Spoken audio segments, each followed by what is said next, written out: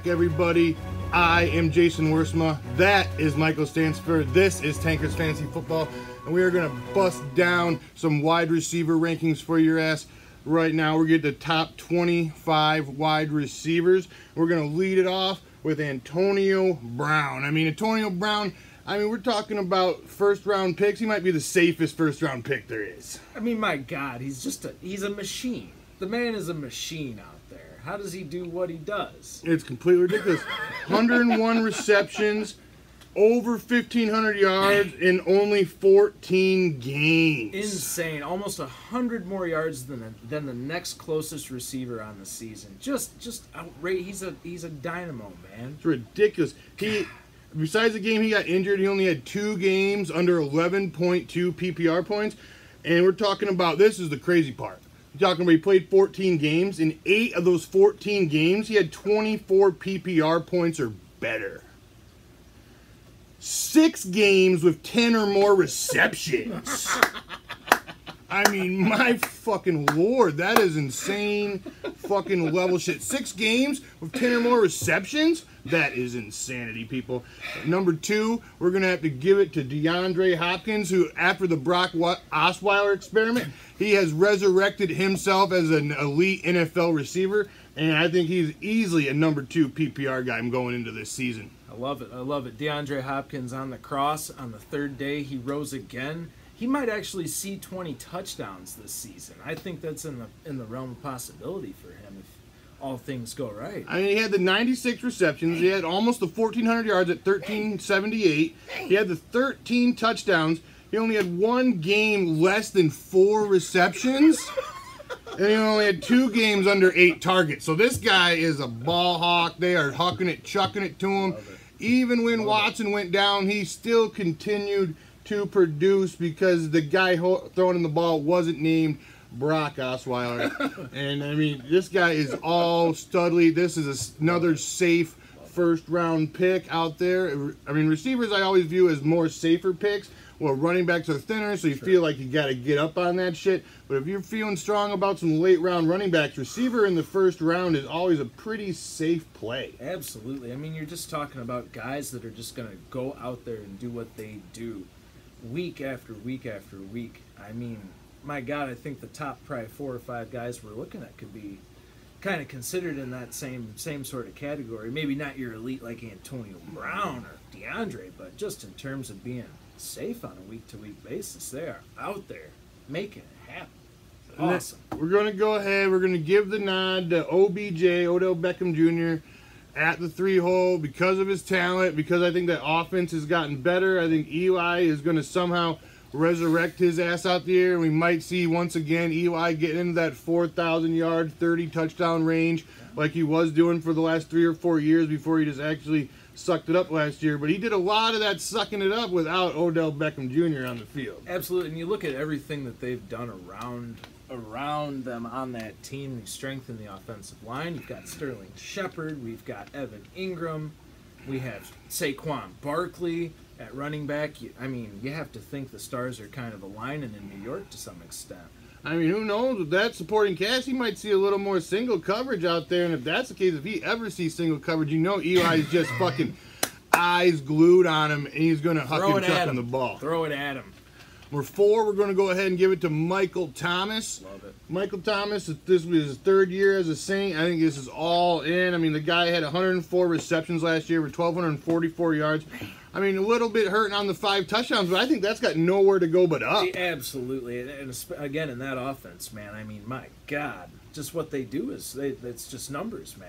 I mean, they numbers. went. They even ran the ball more than the Saints have ever run the ball with Drew Brees as their quarterback and this guy still had 104 receptions. So I mean, all in, I think the receptions are still going to be there. I think the yards are still going to be there, and I think he can get into. I mean, this is a guy that could get you 10 touchdowns. Well, I think so. the, the the the opportunity is definitely going to be there for him this year, and I think too we kind of saw it last year. He's playing with he played with a little bit of a chip on his shoulder, you know, felt somewhat disrespected not being considered a sort sort of a top guy, I think, and that that showed through in some games. He's fighting for balls, he's fighting for yards Give it to Michael Thomas, baby. I mean, he had the elite the elite receiver numbers last year. Only one game PPR under 9.5. He had only two games under five receptions on the season, and he only had and he only had two games where he didn't have at least eight targets. So like like the Hopkins and like the Antonio Browns, this guy is the the vocal point of their offense, and he is going to be getting every opportunity to do it to do his job. Love me some Michael Thomas, man. We gave Michael Thomas a nod over Julio Jones. We're going to go ahead and give Julio Jones here at number five. I think he's still a top five guy. I do too. I do too. And the, the touchdowns last year were just dog shit. You know, the three touchdowns. He dropped that one easy touchdown. That was an over the shoulder catch, wide ass open. I mean, but you look at this and you're still looking at 88 receptions for over 1,400 yards. Man, just I mean, the thing is, you know, you look at he never really loved you sexy too much No. the season because he only had the fucking what the three games over 20 PPR points and the one was a 50 burger, so that's like really weighing his stat line quite a bit, making it look more sexy than maybe it was. But you cannot deny this 88 receptions for 1,444 yards. and he, he's a, again he's a guy that just goes out there and he does what he does. I mean, he's had some sort of nagging kind of injuries, you know, here and there throughout the years, some recurring foot problems, but. He, he, you know, his stat line reminds me of a, another uh, kind of dark horse favorite, uh, bars uh, back in the day, some Andre Johnson once upon a time. Yeah, I mean, these are he's just like a reception yard hero out there. I mean, you're talking about 15 point Guymos. He's getting you that. He is the lord of six for 90. The Lord. the absolute lord of six for 90. But I mean, I know that's not really loving you sexy. Like I said, it was only the three games over 20 uh, PPR points. That's not really elite wide receiver territory. But I mean, my goodness, I think he will get those touchdowns back into that seven, eight, nine range. And if these yards and catches are still there, I mean, he's easily a top five PPR guy. Well, I think too, you know, Julio's Julio can kind of offer that somewhat stable floor with just the potential for this, you know, the sky. Oh, yeah. Any given week. And, you know, we're talking about redraft here. I know he's getting a little bit more longer in the tooth. He's, he's getting close to that big 30 number, but I mean, all in on the redraft. thing. this guy's easily still a top five PPR receiver. I'm going to give the nod. Next pick here. We ha- I don't think Davante Adams ever had his ass a thousand yard season, but I mean the touchdowns have been there for him, even with the likes of uh, uh, Brett Hundley played a, out there. Played a piss Brett Hundley My out there. God.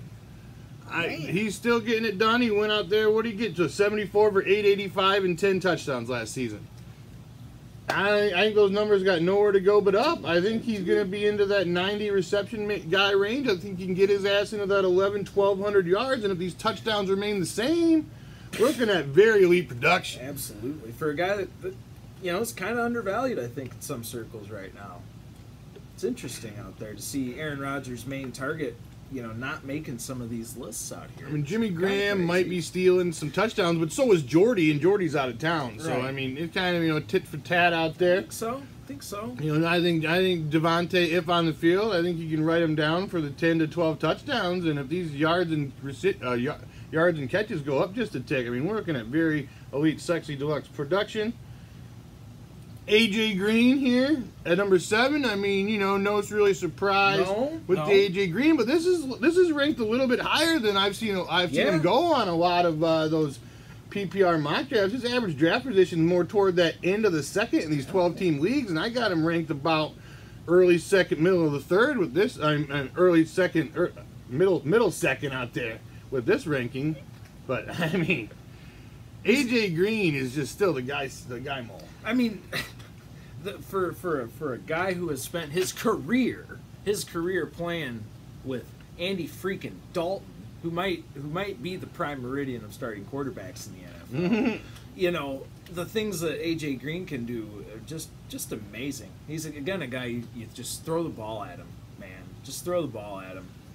He'll catch it. It's just you know you, you look at it like, like we said with Julio, you look at this guy, he's like, oh he had a down year. Then you look at it, and it's like 75 for 1108 touchdowns, and you're like, I mean, That's maybe, a down year. It might, be, it might be a down year for a guy that a guy of the sexy caliber of AJ Green, but I mean, I'm saying these numbers are these numbers at this point. I'm saying are his floor. I love it. I love it. And and again, AJ Green's just a guy that that offense more or less has to flow through. I think to to really be at its maximum. They got to get Joe. Mixon going, and they got to get AJ Green the football. That's all these Bengals. That's the Yeah. That's what the Bengals got to hope to do. Yeah. Getting Joe Mixon going is going to help AJ Green. I feel that. We're gonna go target vacuum here for the number eight. We're gonna give it to Keenan Allen of the Chargers. Love watching Keenan Allen. It's ridiculous. I had him. I had him. I had him written off coming out of all these injuries. All these seasons. He played like what two quarters of football in 2016. You basically got Yep. this guy written off. He hasn't really been on the field doing anything for like upwards of a year and a half, two Yeah. years, and he just comes back on the field You see it, and like it, like it always was. yeah, and you see him come together. He put, he, I mean, he puts it all together for a 102, 13, 93, and six touchdowns. I mean that's Keenan sexy. Allen. Geez, Keenan. Allen. And he's a guy too. You could you could look at his stat stat line for three quarters of a game's going to be, you know, one for twelve, and you tune back in the middle of the fourth quarter, and he's blowing up for you know six or seven for 80, 90, maybe a tutty, maybe a little more. It's, I mean, it's ridiculous. We're talking about how he's a target vacuum. We're talking about nine games with 10 or more targets. We're talking seven games, 100 yards or better. man, And we're talking only one game under four receptions. So, I mean, this guy is a target beast. He is a consistent uh, consistent football player. I think if you want a safe pick, I mean, barring another one of his freakish injuries, but I mean, I think he may have turned the page on that. That might be behind him now, and I think this might be a very safe mid to late Two. second round pick. And and again, for a guy that caught 102 passes last year, if you know you could snag him up at a reasonable price, I mean, my God, you you have to, you have to. Uh, I would like to add as a sidebar too with the recent news of Hunter Henry tearing his ACL. Yeah, we we blew, OTAs we were today. toting the we were toting the bandwagon, blowing the whistle, saying jump on. We think he's going to be the fourth best PPR tight end behind the likes of Gronk, Kelce, and Ertz. And the fancy gods heard us. They poo pooed all over the Hunter Henry fucking hype train bandwagon. Struck him down, baby. Yeah, They I struck him down. I wouldn't be surprised if the Chargers dug up the remains and tried to reanimate Antonio Gates at this point. I, I did. I did just want to add. I think with Hunter Henry going down, perhaps Keenan gets a little more love from Philip Rivers. You know, something to maybe look at. He's the last man standing out there. he, he fucking is. I mean, you know, there's a second year guy, Mike Williams, hanging out. Tyrell Williams. Uh, I think I Tyrell mean, Williams is, and I mean, who else they got? Who's that one guy? Tra- Travis Benjamin. Oh baby, He's just a guy. He's just like a deep threat. He's a he's a role player. bum. He's a bum. So I think Keenan Allen is going to be the vacuum or the target vacuum once again. Love it. Bust into number nine. Another guy that had a disappointing year Yeah. of where he was drafted last year. You know, he still was kind of he was kind of more of a wide receiver two than a wide receiver one like he was drafted. talking about Mike Evans went out there and got you 71 for like just like a yard over a thousand, like a Was he? thousand and one yards. One Eked it out that last game of the season. Probably got some contract bonus Oh or something yeah, out of it. little Had a little there, party afterwards you for that thousand and one yard reception, talking about measure it again. I demand a recount. it again. Uh, we got five touchdowns. I mean, you know, the guy was still getting it done. He only had three games under the eight targets. He only had four games under five receptions. You know, but the problem is, you look at him. He only had one fucking hundred yard game. Which is dark. I mean, considering how much that offense was talked I up think Hard Knocks is the curse. I kind of do too. Is it the new Madden baby? I think Hard Knocks is the bad news curse. You know, you get everybody all hyped up for this team, and it's like it's so hyped, it's got nowhere to go but to let you down. Right. Oh, we've got the muscle hamster returning to form, and we got D-Jax in town. Jameis this Winston was giving me hope. He was talking about how he used to piss off front porches. I'm a piss, I'm a type of guy that likes to piss off some porches. So I was like, that's my Time. that's my fucking boy. He went out there and just fucking completely let me down, bud. It's terrible, man. Terrible. But I, I, I will say, I, I do like cutting Mike, Mike Evans' jib out there, and I think if there's one guy that's going to get some love in Tampa Bay, it's- Yeah, he can Mikey- turn it around. One guy can turn Evans. it around and keep and get back into his back end wide receiver one status. I think it's Mike Evans. Number ten, we're gonna go with the speedster. We're gonna give it to Tyreek Hill, which is kind of an iffy thing now that Sammy Watkins is fucking around down there. But Yeah, I don't know. I don't know. I think there's a chance that that offense is a lot more fun to watch this year. yeah, I think it might be a lot more colorful out there. Yeah, Like, even Pat- if they're not necessarily. They might not be more effective in the win loss column, but I think they're going to be. Alex fun Smith's always watch. kinda A lot bored me. He's he's safe. I'm interested to see what this Mahomes can do, baby. People are thinking he's the fucking next guy, Mo. I mean, I haven't really seen much about him, but if Andy Reid believes, I mean, all in. I think Andy Reid knows. Big Red knows. He's He seen fucking some knows. stuff. He's seen some things, man. He fucking does know. Big Red knows. I'd trust in Andy Reid of his knowledge. You say Alex Smith, let him walk. We got our boy. I think he's right, I baby. think they got their boy out there. You know, Tyreek Hill, you got a guy 75 catches last season, almost 1,200 yards, seven touchdowns. I feel that he kind of left some of that on the field. I feel there was some opportunity for some. He was kind of a there. boom or bust player, you know, because you look at it definitely. and he had four games over 20 fantasy points, you know, PPR, and you're like, that's, you know, that's fairly solid, pretty good action. But you look at those games after he scored big time for you with the over 20 points, and the games after it, he was only averaging eight PPR points in the game, Oof. the games directly after his good, sexy game. So he's kind of a then and now kind of player, you know. That's kind of Yeah. dark. It's a bit of a So if he deviation. blows it up for you this week, don't feel too bad about benching him the week after. You know what I'm saying? That's how you get over on motherfuckers. It's like, right. how'd you bench that guy? I just scored you 25. Well, He's gonna score eight. because I watched Tanker's fantasy football. That's how you like that. Shameless plug. All fucking in. Number 11, back in that ass. He won't die. Won't he die. is invincible. He is forever. We're gonna give it to Larry Fitzgerald, and this. I mean, my goodness, you just think like they're talking about three, four years ago. I stick a fork in him, you know. I think he's done, and this motherfucker goes out there and blasts your ass for 109 catches for 1156 yards and six touchdowns. And I think those touchdowns can even go back up. I do too. I do too, man. He got stuffed multiple times at the goal line last year. I mean, I mean, Man. David. I mean, David Johnson. You know, I mean, that's Larry Fitzgerald was all the Cardinals had last year, and he was still out there raking it. Just Just, just doing get that attention off him a little bit. I mean, Mike, I don't know if he'll be able to do the 109 receptions, but I think those yards will be there, and I think you can get those touchdowns mm. back up into that eight or nine range. And we're talking about a. I mean, he finished like what the fourth best PPR fucking wide receiver last year. he may have even pushed for number two. I think he was fourth though. I think he was the fourth PPR receiver. It was points ridiculous, perhaps, man. You know, and to something about Arizona. I mean, he was doing that with downtown John Brown. You know, kind of riding the pine out there. They've got they had Duran Brown, Jaron Brown. I think he's still there, but um, you know they ship they ship Michael Floyd out of town. They've got they've got this young guy and uh, Chad Williams, I believe is his name. Uh, perhaps could offer somewhat of a steady presence in that number two spot. Might help old Larry Fitz out in the slot.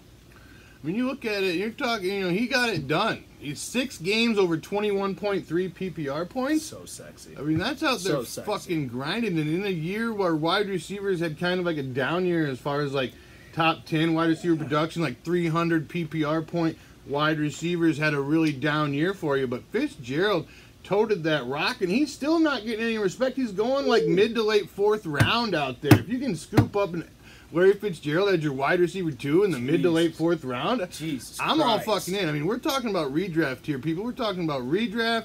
We're talking about taking home titles. We're talking about winning money. And let them fucking giggle at you when you draft the Larry Fitzgerald. And they'll fucking know Let what's up come week four and five when he's in there pushing their fucking shit in. All Larry right. fucking legend, baby. We're gonna bust it down with one more, and then we're gonna go to a part two like we did with the running backs this year. I mean, last time to keep the fucking, you know, keep the videos a little under 20 minutes. keep it fresh. Mm, keep it know? sexy for you, you know. And we're gonna get some Allen Robinson. We're gonna give the nod to the Bear. We're gonna go Homer City. We're gonna think that I think the targets are gonna be there, baby. If Allen can stay on the field, I think this new coaching staff is gonna breathe some life into the biscuit out there, and he's gonna be hucket chucking at I football. it. I think I he love might. it. I mean, I don't think he's gonna get back to that when he had that. What was it 2015? Was it? Yeah, he went for what, 1,400? And It was like 80 for 14 1,414 touchdowns. Woo!